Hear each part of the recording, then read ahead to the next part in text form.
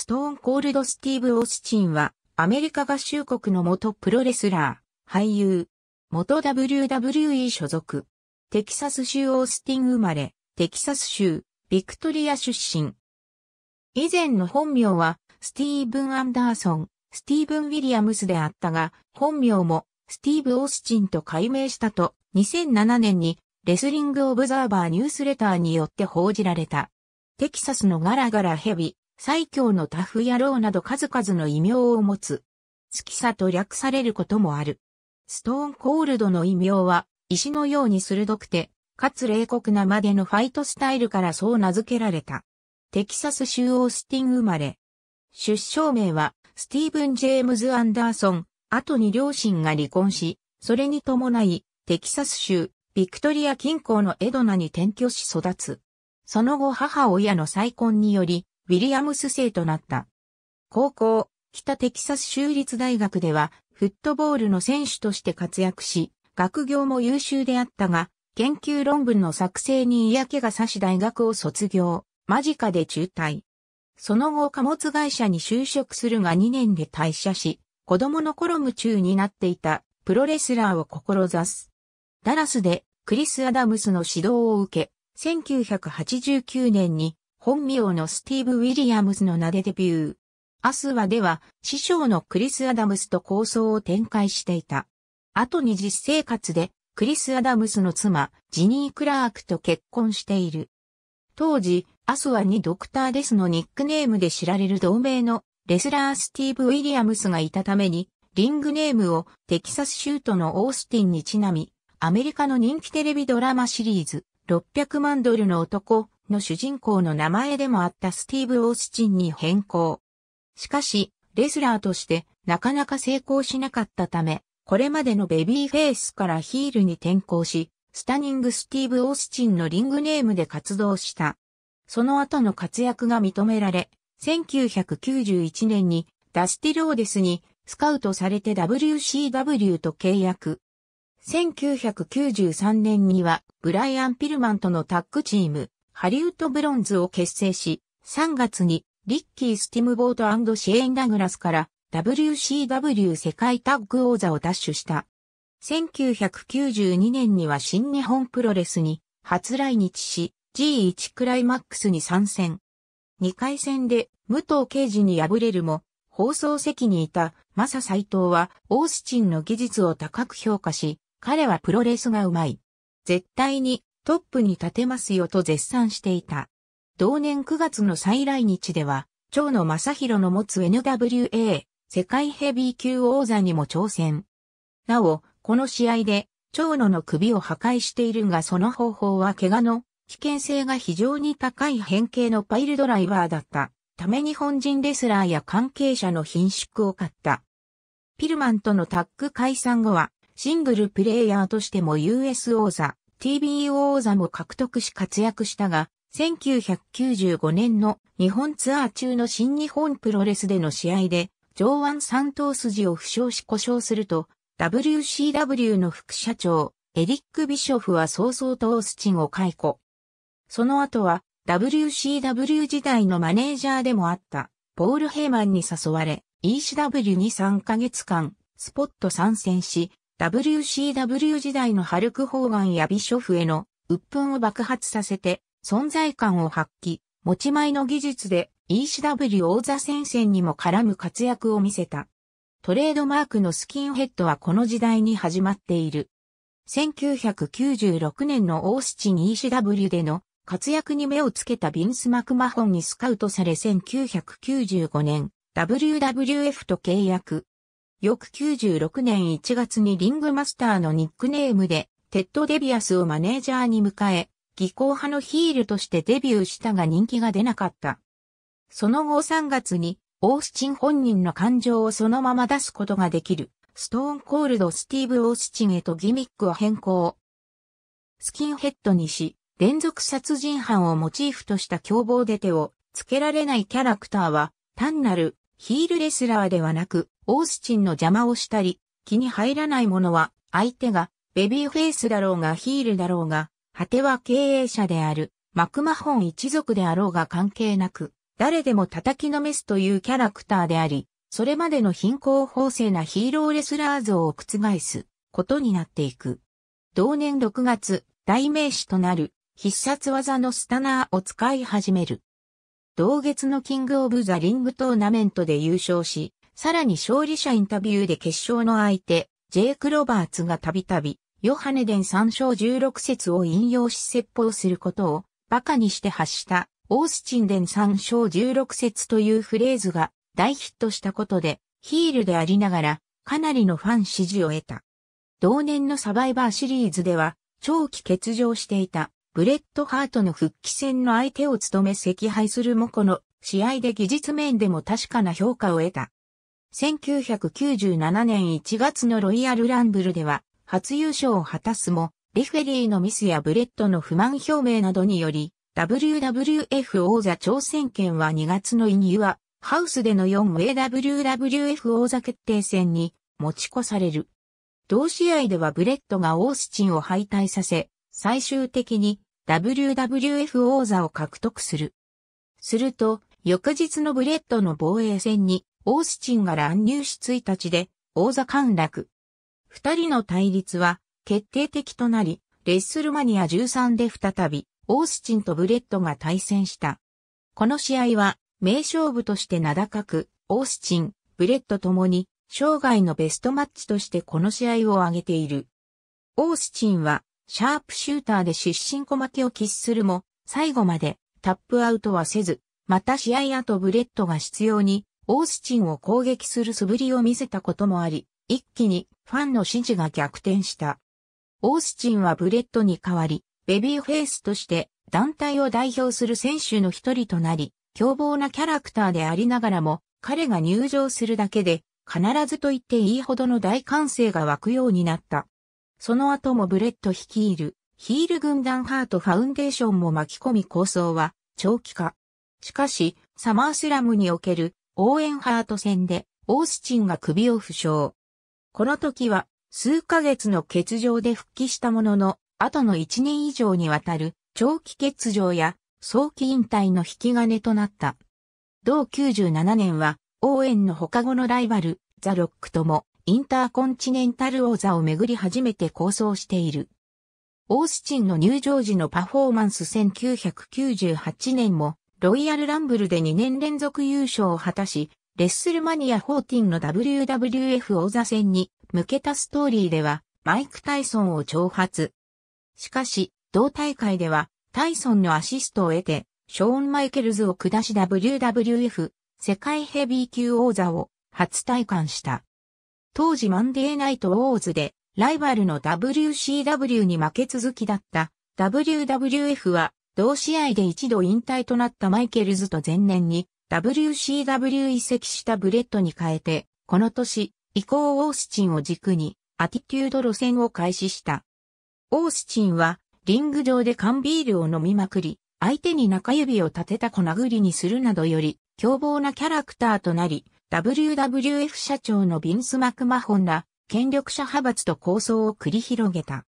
ビンスとの構想は視聴者が、権威や人気に太刀打ちできない実生活の鬱憤を晴らす最高のストーリーとして大ブームを巻き起こし、98年中に WCW を逆転。その後オースチンが毎週登場する RAW はアメリカケーブル TV で最高視聴率を叩き出した。1999年のビンス・マクマホン、シェーン・マクマホン、ザ・ロックらのコーポレーションとの構想では、製氷車、ビール配送車でリングに登場したり、ザ・ロックのリムジンを破壊するなどして人気を博した。特にビール配送車でリングに登場したシーンは2003年に行われた RAW10 周年特番でファンが選ぶ10年間の名シーン第1位に輝いている。また99年のレッスルマニア XV にてザ・ロックとのレッスルマニア初対戦も行った。しかし1999年中盤から2年前に負った首の負傷が悪化し、治療のためサバイバーシリーズ以降長期欠場に入った。この時期、テレビドラマ刑事、ナッシュブリッジスで役者として活躍。暴走刑事ジェイクでの役柄は、リング上さながらの格闘を披露する豪快なキャラクターであった。当初ゲスト出演だったが、人気があったため準レギュラーとして6エピソード登場した。幾度かのサプライズ登場を経て、2000年のノーマーシーにておよそ1年ぶりに正式に WWF 復帰を果たした。ひき逃げの実行犯リキシ、そして黒幕のトリプル H との長期抗争に入った。翌2001年のロイヤルランブルでは、史上初の3度目の優勝を果たすも、ノーウェイアウトでは、トリプル H との決着戦となる3本勝負の大死闘で惜敗を喫した。2001年のレッスルマニア X7 におけるザ・ロックとのレッスルマニア2度目の対戦となった WWF 王座戦では宿敵ビンスと結託し衝撃のヒールターンを果たし王座獲得。レッスルマニア以後はトリプル H とも結託するなどトップヒールとして活躍しカート・アングルらと構想する。また WWF 本体と WCW ECW 連合軍であるアライアンスの構想ストーリーでは WCW や ECW に所属していたこともあり、WWF を裏切り、アライアンス側のヒールとしてベビーフェイスのビンスらと構想を行った。レッスルマニア6にてザ・ロックと対峙するオースチン2002年には WWF で復活した無王のスコット・ホールやビッグ・ショーらと構想を行い、史上初のブランド分けでは RAW の中心選手となり GM のリック・フレアーとも対立。しかしながら、長年の活動により首、膝、背中などが故障していたことや、当時 WWE がプッシュしていたブロックレスナーの踏み台になることに不満を持ちフレアーとの構想も、半ばの6月に工業をボイコット、二度目であったために懲戒解雇とされた。また同月には、三人目の妻、デブラへの DV で逮捕された。2003年に WWE へ復帰するが、同年のレッスルマニア6にて、レッスルマニア3度目の対戦となったザ・ロックに敗北。この時点でレスラーは引退してエリック・ビショフと共に RAW の共同 GM に就任する。しばらくの間は後の選手復帰への期待をされることもあったが、負傷した首や膝の状態は悪く、結果的にはこのロックとの対戦が引退試合となった。GM 時代にはビショフがヒールの GM を演じたのに対し、オースチンはベビーフェイスの GM を演じた。両者は次第に対立し、2003年のサバイバーシリーズにて行われた敗者追放マッチにて両 GM 軍が対決した。結果オースチン軍が敗れ、オースチンは GM 職を退いた。しかし同年のクリスマスには RAW の保安官として番組復帰する。2004年にはレッスルマニア XX にてブロックレスナー対ビル、ゴールドバーグの特別レフェリーを務めたが、契約終了をもって1ヶ月後に再び WWE を離脱。同年に過去に起こした恋人への DV により逮捕された。2005年のレッスルマニア21を前に再び WWE に復帰。これは普通のタレント契約ではなく、WWE フィルムズの制作する映画の俳優としての契約である。元 ECW 所属選手であったこともあり、ECW ワンナイトスタンドへも登場。また RAW で行われたモハメド・ハッサン対シェルトン・ベンジャミンの IC 王座戦にゲスト登場。試合後ハッサンとマネージャーの出張りにスタナーを食らわせた。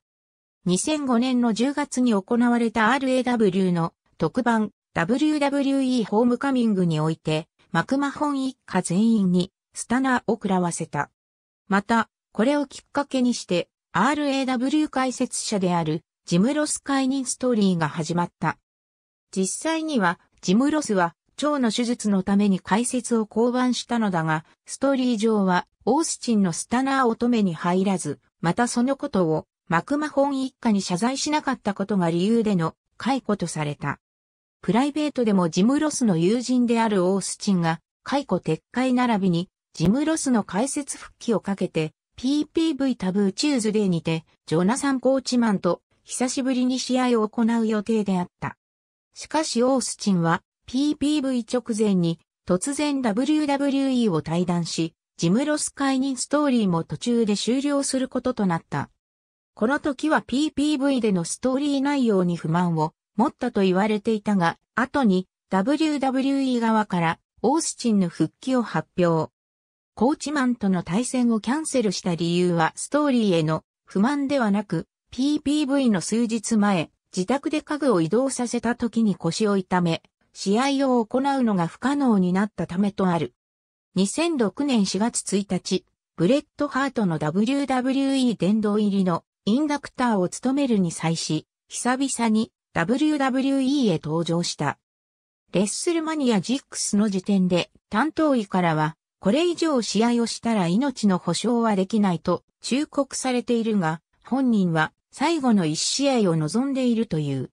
また、ハルク・ホーガンとの夢の一戦が以前から噂されていたが、2018年現在、実現はされていない。サイバーサンデーにて、特別レフェリーを務めるオースチン2007年3月頃の RAW にて、レッスルマニア23でのビンス・マクマホン VS、ドナルド・トランプの紙切りマッチの特別レフェリーに選ばれたというギミックで一時的に復帰、ジョナサン・コーチマンにスタナーを浴びせるなど、ストーンコールドの姿を全世界に見せつけた。3月14日の RAW については、オースチン登場の少し前にザ・ロックがビデオという形だったが、タイタントロンに登場したこともあり、WWF 時代を思い出させるものになった。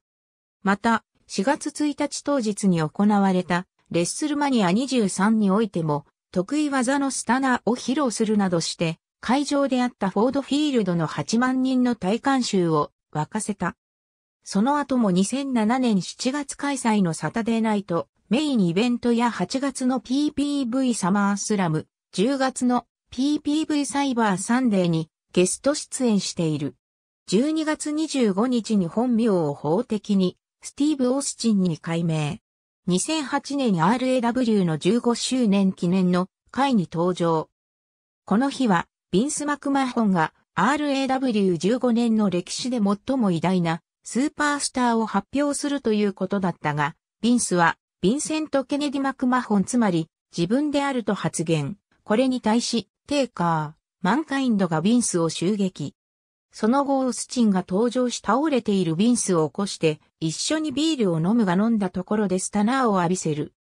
その後、観客及びカメラに向かって最も偉大なスーパースターはどのレスラーでもなく会場にいる観客、テレビで番組を見ている世界中の視聴者だと紹介。最後に、オースチンの呼びかけで、RAW 所属の全スーパースターが、リング上に集合した。また10月26日には、サイバーサンデーにて行われたクリス・ジェリコ対バティスタの世界ヘビー級王座戦に、視聴者からの74%もの高得票によって、ショーン・マイケルズ、ランディ・オートンらを抑え特別レフェリーとして登場。公明正大にジャッジし、オースチンを押しのけてジャッジしていたオートンに、スタナーを浴びせて撃退した。